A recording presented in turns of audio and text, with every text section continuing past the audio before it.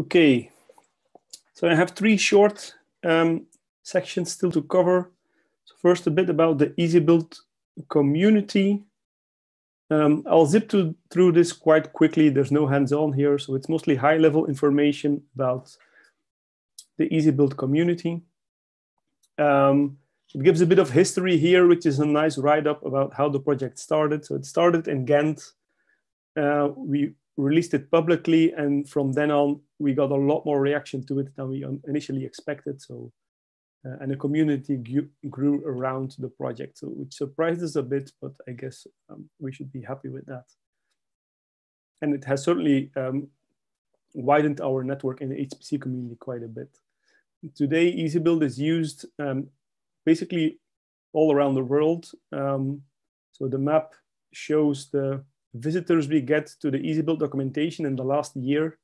So the all the circles are cities, so you, you get a good idea that it's, it's used in the major HPC sites around the world. We also organize an EasyBuild user meeting every year. So we have been doing this since 2016. And we usually do it time-wise closely to the FOSDEM open source meeting in Brussels. Um, the user meeting has been organized throughout different locations in Europe. Last year we did it in Barcelona, or this year actually we did it in Barcelona. Let's see what happens next year, whether we will be able to do it physically or we'll have to move that to an online meeting as well. Um, this is an overview of some of the sites that use EasyBuild.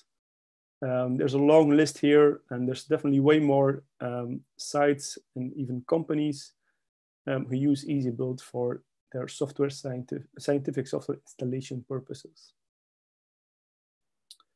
Um, as I already mentioned, the development of EasyBuild is done through uh, the EasyBuilders GitHub organization throughout the, a, a, couple of different uh, repositories, framework, EasyBlocks, EasyConfigs are not developed separately, but are located in separate repositories, which makes, the, which makes the development a little bit easier.